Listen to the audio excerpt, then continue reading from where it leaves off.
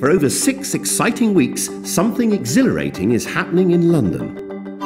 Over 200 giant eggs, reimagined by leading artists, designers, and creatives, are popping up all over the city for what is set to be the world's biggest egg hunt. The Fabergé Big Egg Hunt is a fun and creative treasure hunt, raising money for two inspired charities Elephant Family and Action for Children.